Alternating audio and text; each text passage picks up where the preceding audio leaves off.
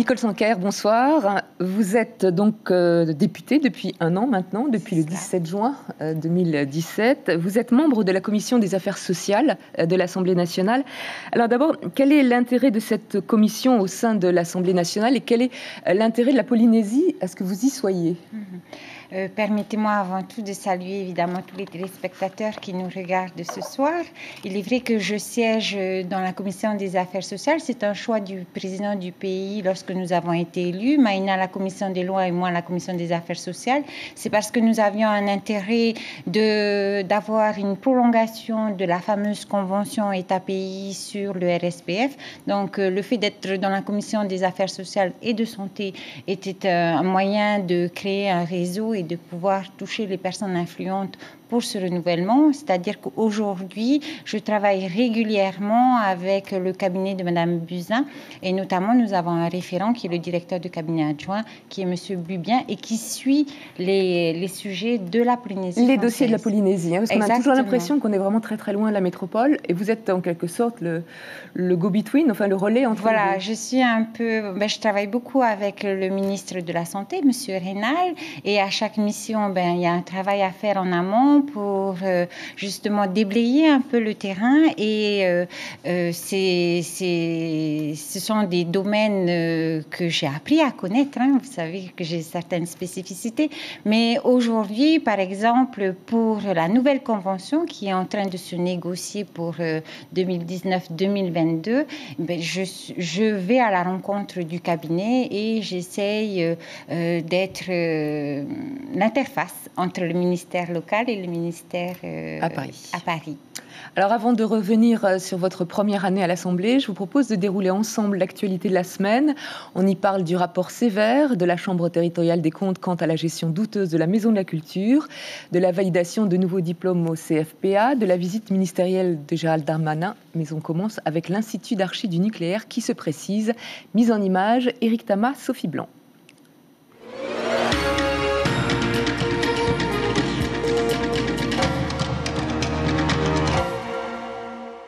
C'était une annonce du président François Hollande lors de sa visite, la création d'un institut d'archives du nucléaire, ratifié dans l'accord de l'Élysée de mars 2017. Nous arrivons à, la dernière phase aujourd'hui euh, de cette première partie sur l'Institut, qui est celle d'avoir défini euh, un, programme. Qu'est-ce que nous allons mettre dans ce, dans ce fonds euh, documentaire? Comment on va répartir les salles de cet Institut? Comment on va... quelle intention on donne à cet Institut? Pour l'essentiel, c'est expliquer, rassembler, transmettre le comité de projet a commencé à définir les espaces de ce futur institut d'archives, avec une exposition permanente, une médiathèque ou encore un espace pédagogique. L'appel d'offres pour l'aménagement du bâtiment devrait être lancé au premier semestre 2019. Déjà médiatisée, la difficile fusion avec Evanui en 2013, où cet agent indélicat qui aurait utilisé, voire revendu à des fins personnelles, du matériel technique de la Maison de la Culture. Mais la Chambre territoriale des comptes va plus loin. Par exemple, cet agent, s'il est bien suspendu et que l'action judiciaire est en cours, il perçoit toujours 50% de son salaire depuis deux ans et demi et continue de bénéficier des avancements. En outre, 2 900 000 francs auraient également été détournés par un régisseur entre 2012 et 2014. Des faits grave entre les mains de la justice. Manager d'univers marchand, voilà l'un des nouveaux titres professionnels polynésiens reconnus par l'État. Carleur, couturier d'ameublement, maçon, soudeur, électricien et informaticien sont les six autres titres reconnus cette année. Au total, 36 formations dispensées par le CFPA sont maintenant reconnues. Un plus pour trouver un emploi. Ils vont être, je dirais, euh, euh, avec beaucoup de ressources, beaucoup de compétences pour être directement employables à leur sortie. C'est une première pour les douanes en Polynésie, la visite d'un ministre d'État chef de l'administration douanière. Les 133 agents de Polynésie récoltent plus de 50 milliards de francs de droits et taxes pour le compte du pays.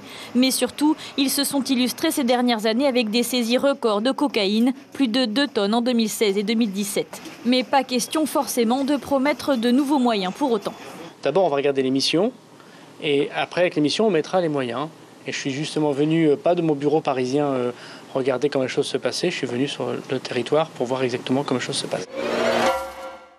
La défiscalisation au cœur de la visite du ministre à Bora Bora. La Polynésie a besoin de l'accompagnement de l'État pour réussir sa reconversion économique, selon le gouvernement. Mais les délais d'obtention d'agréments de défiscalisation sont trop longs. Aujourd'hui, les délais sont encore un peu trop longs parce qu'il y a beaucoup d'interlocuteurs qui interviennent sur des dossiers qui doivent être bien sûr euh, contrôlés par le gouvernement parce qu'il s'agit de l'argent des Français. Mais nous pouvons améliorer les choses et donc on en a tiré quelques conclusions positives qu'on pourra faire avancer dès mon retour à Paris. Nicole Sanker, avant de revenir sur la visite ministérielle, euh, un mot sur euh, l'Institut d'archives du nucléaire. Euh, ça avance. Vous avez participé à l'Assemblée nationale, à la commission de suivi des essais nucléaires, et vous dites que la suppression du risque négligeable a été une grande chance pour les indemnisations. Oui, tout à fait. Hein. Donc, je fais partie de cette commission présidée par Madame Lana Tetouanoui, une nouvelle commission qui a été mise en place par la loi EROM. Et c'est vrai que je suis rapporteur avec Dr Poirier sur les travaux du CIVEN, comment les améliorer. Et nous avons vu que le CIVEN a aujourd'hui changé son fonctionnement, euh, les membres ont été renouvelés et que l'annulation du risque négligeable facilite finalement l'examen des dossiers des, Polynésiens et un chiffre, hein, donc euh, neuf dossiers euh, favorables à l'indemnisation en six ans, alors que depuis janvier jusqu'à aujourd'hui, 40 dossiers déjà ont reçu un avis favorable du CIVEN, donc 40 dossiers polynésiens. Et pour pouvoir évaluer l'indemnité, il, nous faut attendre l'expertise médicale. Euh, il, euh, on se demande si Paris regarde de très près ce qui se passe en Polynésie. Vous le disiez à l'instant, la réforme de la PSG, euh, c'est un dossier qui, qui les a inquiétés quand, quand il y a eu le, non, je, pense, je pense que la réforme de la PSG est un sujet évidemment local, hein. mais je vous parlais tout à l'heure d'une nouvelle négociation pour une nouvelle convention État-pays sur le système de santé en Polynésie française. Nous avons eu donc un rapport euh, de l'IGAS bien avant. Et c'est vrai que l'État aujourd'hui regarde aussi comment nous, nous pouvons améliorer évidemment euh, le budget de notre CPS et la réforme de la PSG. C'est un effort évidemment que nous demandons aujourd'hui à nos concitoyens et euh, Paris apprécie aussi que les efforts ne soient pas que d'un côté mais viennent aussi localement. Alors la visite du ministre, elle coïncide avec des dossiers que vous traitez depuis, depuis un an notamment. Euh, d'abord, le retour des fonctionnaires d'État. Alors ça aussi, euh, on, en, on, en, parlait le premier jour de la visite de Gérald Darmanin. Vous connaissez bien la problématique Alors, je connais bien la problématique puisque nous avons travaillé en amont avec le député Servin, hein, qui a été missionné par le Premier ministre justement sur ce sujet, la mobilité des fonctionnaires d'État en Outre-mer. Et évidemment, en tant que député, nous sommes souvent sollicités pour des retours de polynésiens exercés en Polynésie française. Donc, lorsque nous avons eu ces réunions préparatoires, j'avais euh, entendu les syndicats et euh, il y avait deux sujets, évidemment, ce retour euh, garanti de, des fonctionnaires polynésiens à exercer en Polynésie française et puis aussi une interrogation sur le statut du CEAPF. Quel avenir pour ce statut puisque nous sommes la seule collectivité à avoir des CEAPF et pour certains département d'outre-mer, c'est ce qu'ils rechercheraient à avoir. Donc j'ai pu rencontrer le conseiller outre-mer du Premier ministre la semaine dernière qui euh, a tenté de me rassurer, mais vous savez, j'attends la sortie du rapport du député Serva pour justement alimenter la négociation avec le ministre Gérald Darmanin. Euh, la réduction du délai de défiscalisation, il en a beaucoup été question hier. Vous, vous, plaidez pour encore plus de défiscalisation et, et notamment euh, sur les bateaux de croisière et d'autres projets qui seraient un peu moins élevés qu'actuellement Voilà, en fait, en réalité, le rôle des députés, c'est aussi de soutenir les demandes non seulement du gouvernement, mais des entreprises locales.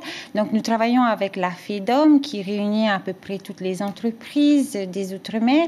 Et un des sujets, et d'ailleurs, M. Philippe Gomez l'a noté dans son rapport sur la défiscalisation, euh, deux demandes avaient été faites par aussi bien les sociétés outre-mer que par le gouvernement, c'était la tenue d'une commission locale ici pour les dossiers de défiscalisation de moins de 5 millions d'euros pour évidemment écourter le délai d'examen et puis apporter une réponse beaucoup plus rapide.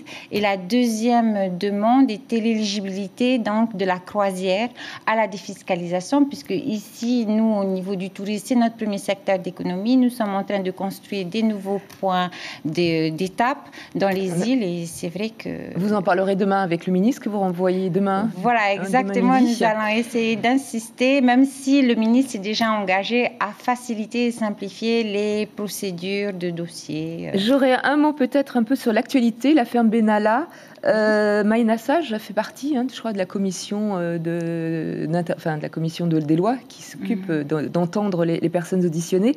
Euh, deux motions de censure ont été déposées une par les députés LR, l'autre par les députés de, gauche.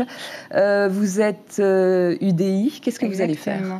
En fait, Maïna Sage a siégé dans la commission d'enquête puisqu'elle fait partie de la commission des lois.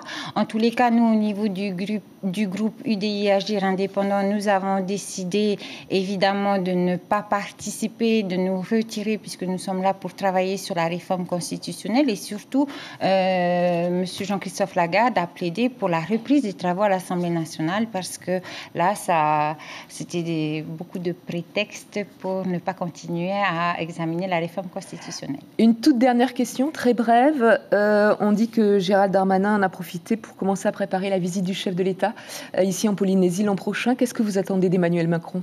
En tous les cas, c'est ce que Emmanuel Macron a annoncé, hein, une prochaine visite euh, sur le premier semestre, je crois, de 2019. Et je pense que la visite de, de, Monsieur le ministre Darmanin n'est pas étrangère à la préparation de cette future visite présidentielle. Vous viendrez nous en reparler à ce moment-là. Merci beaucoup, qui vous euh, Nicole Sanker, d'avoir été notre invitée ce soir. Merci beaucoup.